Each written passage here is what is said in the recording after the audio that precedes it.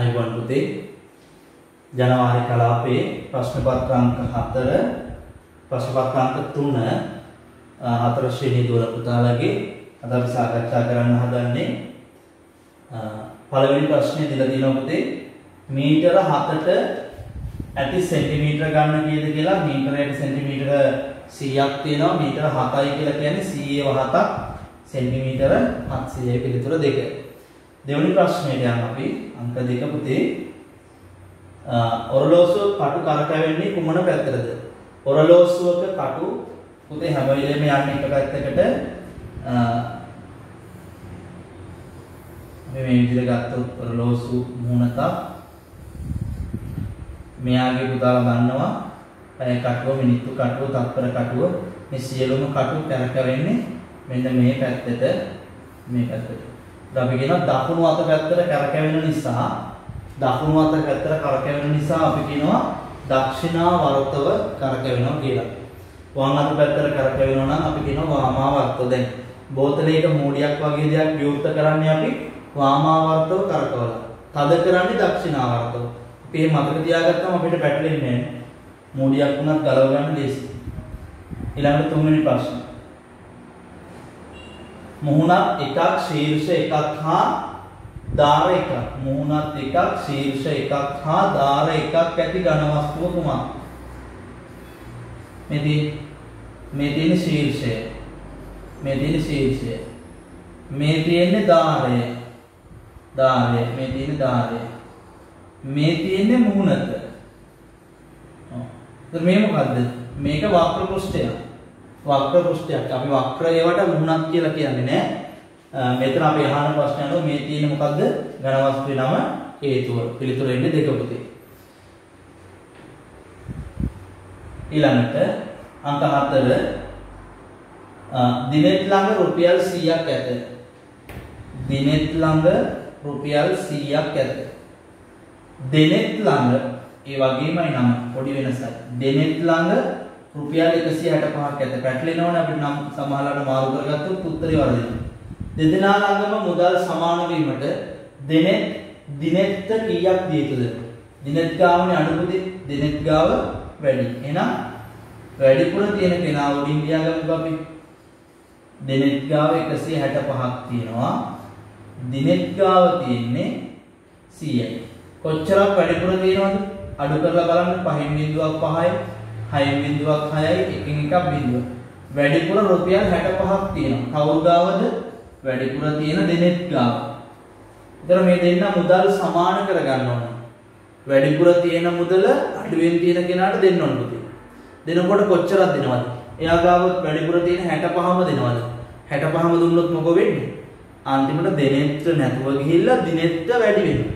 ඒ නිසා සමානව තමයි දෙන්න බෙදා ගන්න ඕනේ මේ වැඩිපුර තියෙන ප්‍රමාණය. දෙන්න සමානව බෙදා ගන්නවා කියන්නේ පුතේ මේක මොකද කරන්න ඕනේ? මේකෙන් භාගය දෙන්න ඕනේ යාළුවට. එහෙනම් මේකෙන් භාගයක් හොයන්න. භාගයක් හොයන්න මොකද කරන්නේ? දෙකෙන් බෙදනවා. පුතේ භාගයක් හොයන්න දෙකෙන් බෙදනවා.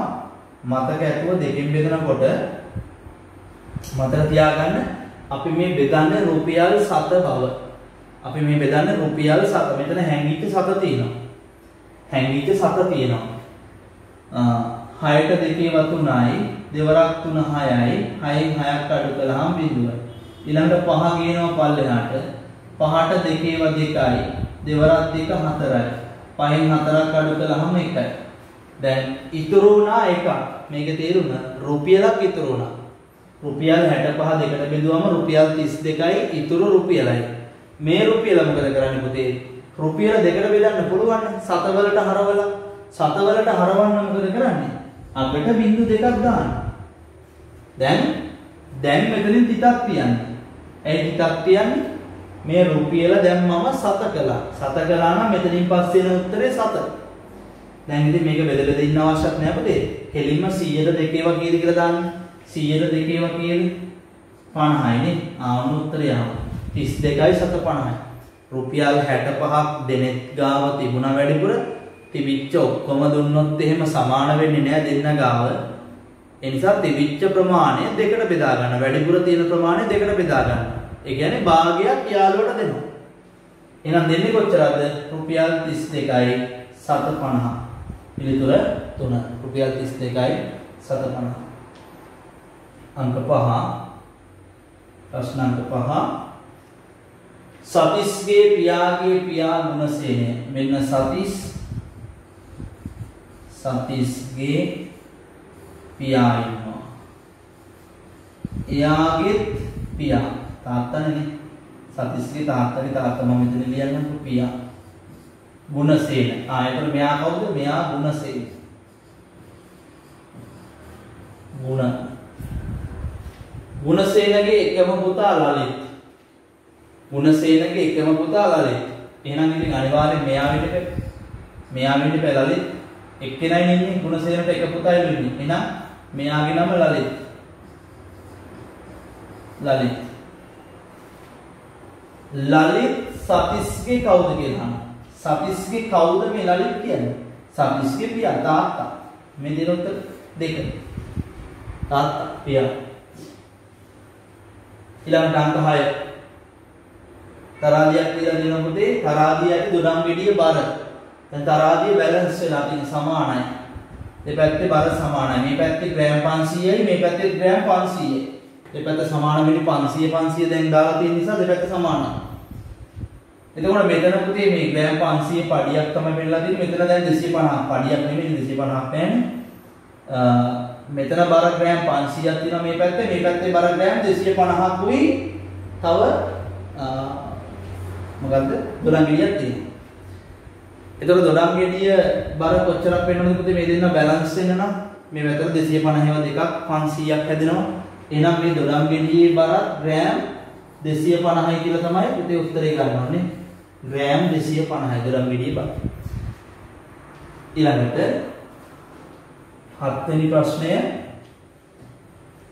කණු පහක් අතර පරතරය මීටර 12කි. 1යි 2යි 3යි 4යි 5යි. මේ ටික ඔක්කොම බැලුවොත් මේ මුලින් ඉඳලා අකට මීටර 12යි කියලා කියන්නේ. සමාන දුරින් කණු සිටුවා ඇතනම් කණු දෙකක් අතර පරතරය කීයද? දැන් සමාන දුර මෙතන කණු පහක් කියවම 1යි 2යි 3යි 4. කණු පහයි වුණාට පරතර තියෙන්නේ 4යි. එහෙනම් 12 4න් බෙදුවොත් එක පරතරයක දිග එනවා මීටර 3ක්. මේ එකක් මීටර 3යි. ඒ කියන්නේ පුතේ කණු දෙකක් අතර පරතරය යහනේ මෙයාගේ මෙයාගේ අතර. කවුරු හරි කණු දෙකක් අතර මේ ළඟ තියෙන කණු දෙකක් ගත්තොත් පරතරය මීටර 3යි. එහෙනම් උත්තරේ තමයි මීටර 3. ඊළඟ ප්‍රශ්නේ අංක 8 හතරෙන් 1යි m. හතරෙන් 1යි කියන්නේ කාලනේ. මීටර කාලය කියනවා මේ මීටර කාල සෙන්ටිමීටර වලින් දක්වන්නේ. සෙන්ටිමීටර 100ක් මීටරයයි කාලක් හොයන්න නම් මොකද කරන්න ඕනේ? හතරෙන් බෙදන්න ඕනේ. හතරෙන්. 25 නේ උත්තරේ එන්නේ 10ට 4 ඒවා 2යි 4ට 2 8යි ඉතුරුයි දෙකක් බිංදුව පල්ලෙහාට ගෙනවා 20යි 20ට 4 ඒවා 5යි 4 වරක් 5 20යි 20න් 20ක් අඩු කළාම බිංදුව.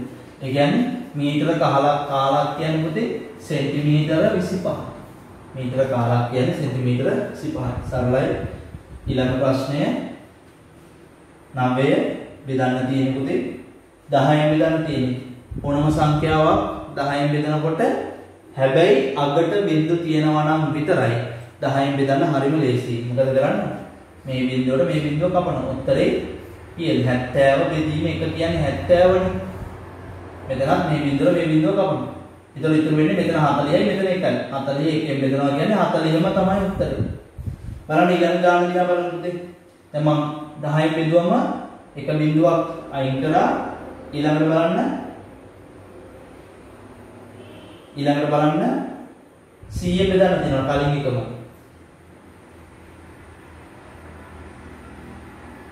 අවසාන ප්‍රශ්න 10 වෙනි එක බලන්න පුතේ 700 100 බෙදන්න දැන් අපි කලින් කලේ අග බිඳුවට අග බිඳුව ගැපුවනේ දැන් අග බිඳුවට අග බිඳුවට අග බිඳුව අග බිඳුව. ඒ කියන්නේ බිඳු දෙකක් තියෙනවා. මෙතන බිඳු දෙකට මේ බිඳු දෙක කපනවා. අග බිඳු විතරයි. දැන් 7 එකෙන් බෙදුවම 7යි. 4 එකෙන් බෙදුවම 4යි. මතක තියාගන්න කෙටියෙන් ටක් ගාලා අපිට බෙදලා උත්තරේ ගන්න පුළුවන් 100න් 10න් 1000න් එහෙම බෙදනවා නම් අග තියෙන බිඳු ප්‍රමාණයට කපලා දාන්න තියෙන්නේ. මතක ඇතුව පුතාලගේ අද දවසෙත් ඔයා ලකුණු ගත්ත ප්‍රමාණය කීයද කියලා කමෙන්ට් එකක් දාන්න.